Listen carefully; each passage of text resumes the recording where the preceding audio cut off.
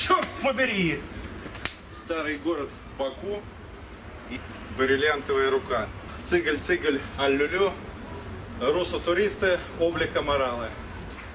Город Баку, 9 сентября 2016 года.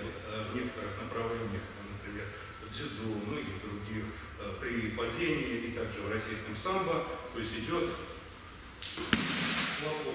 Для чего делается хлопок? Чтобы ладонь была направлена в пол.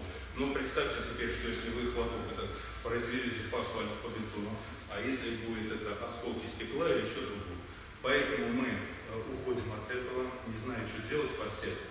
Понижаешь высоту и применяется метод расслабления и метод скольжения. То есть я начинаю плавно переходить, плавно накатывать различные элементы. А, Очень большой раздел этой техники безопасных падений, специальной акробатики, курков, перекатов, которые используются как можно с дальней дистанции входить в систему ближнего боя, там, на выбивание оружия, на многие другие вещи.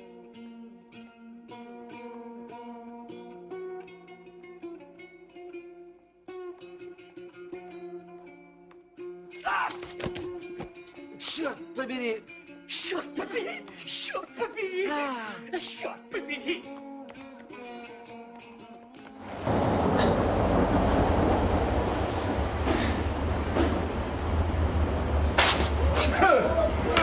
Черт побери!